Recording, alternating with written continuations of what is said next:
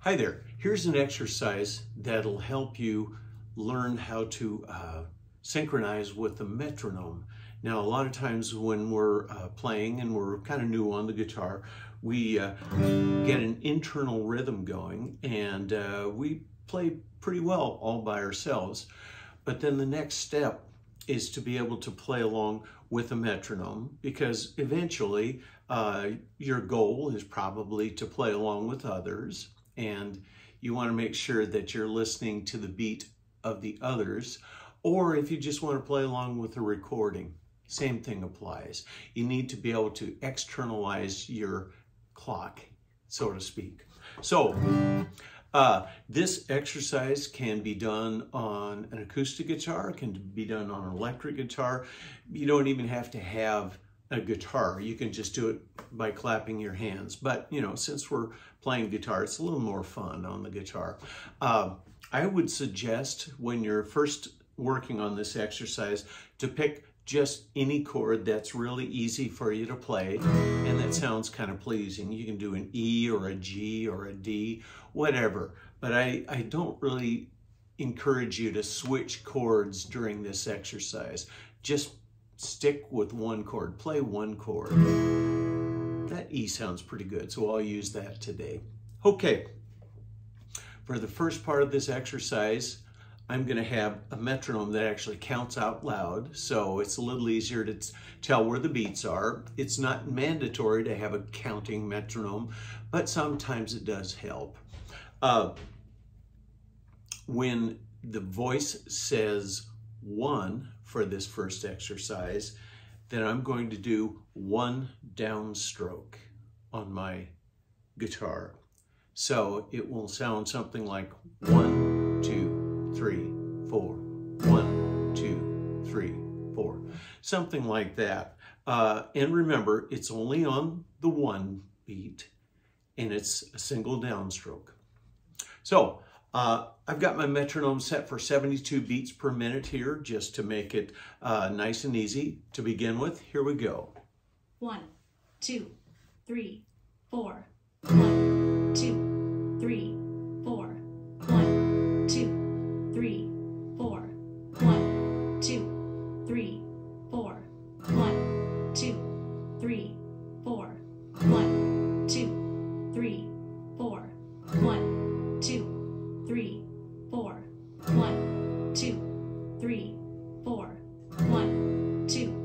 three, four. One. Now you may have noticed that I was gently tapping on my guitar's body while uh, the other beats were going on. And that may or may not help you. It's not mandatory again, but it might help you kind of synchronize, kind of get used to where that beat is. Okay? So for the second part of this exercise now, we're going to do a downstroke on beats one and beats three.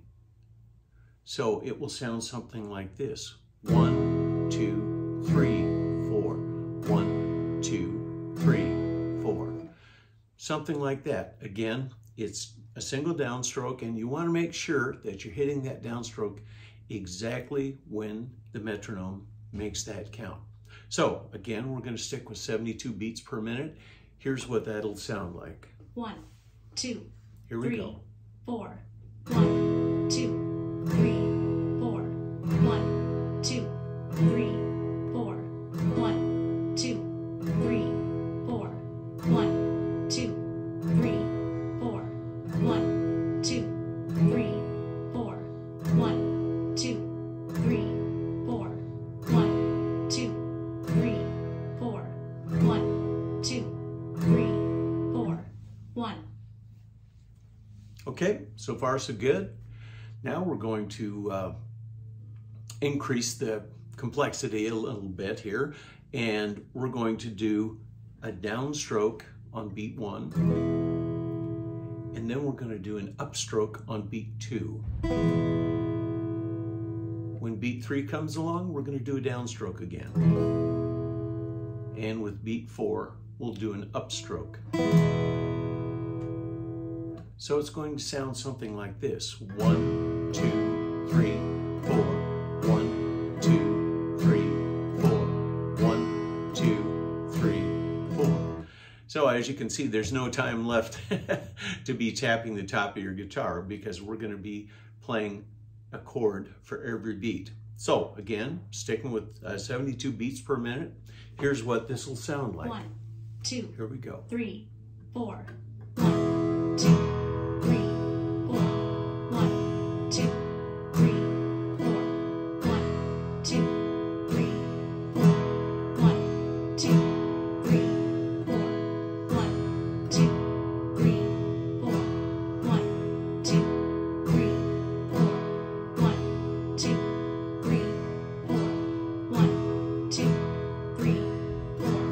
One. So again, notice every time there's a beat counted, I'm doing either an upstroke or a downstroke. So the funny thing about when you get to this point, sometimes it becomes a little bit easier as the tempo is increased on your metronome. So right now we're at 72. I'm going to crank that up to maybe 100 and I'll do that same exercise. And uh, for me, it's a little bit easier to play at that speed. You you may have a different uh, uh, experience, but sometimes when you're doing upstrokes, downstrokes, upstroke, downstrokes like this, it's a little easier to play with a metronome that's going a little faster. So here's what this will sound like at 100 beats per minute. One, two, Here we three, go. four. One,